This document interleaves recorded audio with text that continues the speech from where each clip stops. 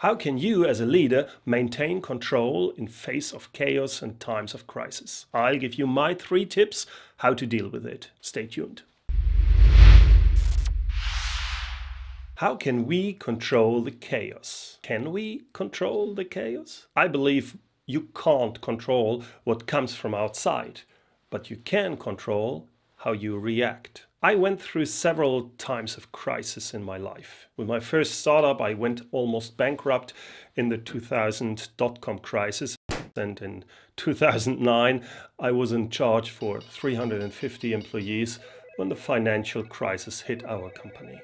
That were tough times.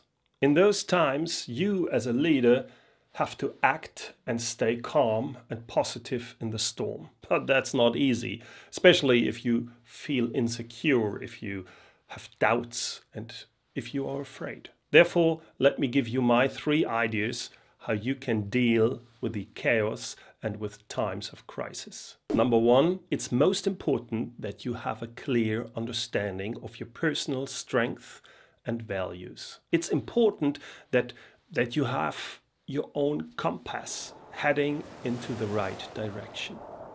You need to be clear on what do you stand for, what motivates you, what is really important to you. If it is money, then think twice. And I also mean if you think money gives you security, be careful. How much money do you need? $10,000? $100,000? 1 million? 10 million? Are you then secure? What will happen if we uh, suddenly face an hyperinflation? Your money is gone like that? Will money really help? What happens if you become ill and there aren't any beds in the ICUs for you because of the crisis? A lot of things can happen. So think about what is most important for you and what do you stand for? I personally believe what really is important in life, that's people. Take care about others. Be the person who's realistic but positive, who's trustworthy. If you are afraid and feel insecure, that's normal. But don't behave like the rabbit under the hypnotic stare of a snake. Take an active role and help others, especially in times of crisis. Take action. The good thing about this approach, taking action, is if you take the role of the one who leads, who helps others, this role will also help you to better deal with your own fears. Second, have an infinite mindset.